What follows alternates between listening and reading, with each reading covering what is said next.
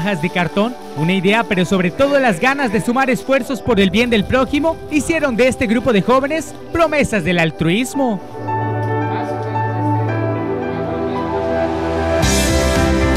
Y es que ellos son amigos de 14 a 16 años de la colonia Delio Moreno, que preocupados por las carencias que viven día con día los más desafortunados, han creado Hazlo de Corazón.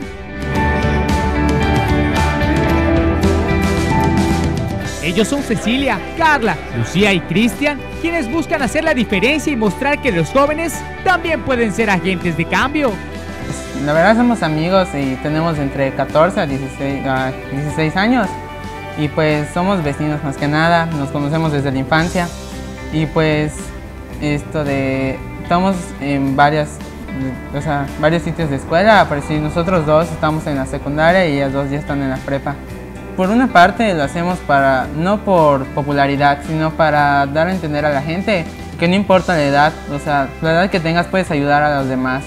No tienes que ser una persona de 30 años con mucho dinero para poder ayudar a alguien. Estos cuatro jóvenes al conocer a alguna persona que atraviesa por carencias o dificultades, inician una campaña para pasar de casa en casa y recolectar ayuda para quien lo necesita. Eso sí, todo en especie, ya que no aceptan dinero. Y reconocen que con poco o mucho se suman a estas acciones.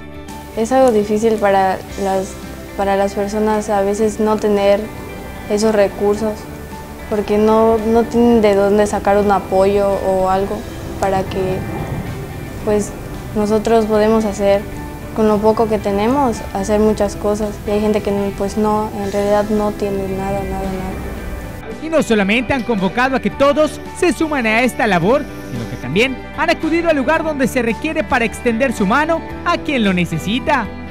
De esta forma ellos buscan mover conciencias en la sociedad para que tanto jóvenes como adultos puedan colaborar en este tipo de situaciones.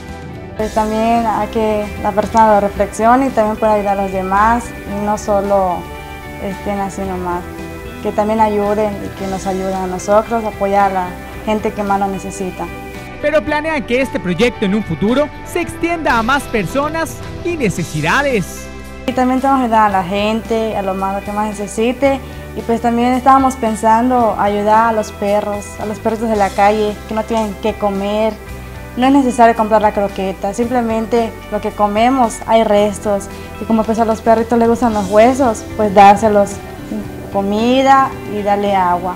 Estos cuatro jóvenes estudiantes que se han puesto la camiseta para ayudar y hacerlo de corazón y en el camino cambiar la vida de los que se encuentran en desventaja.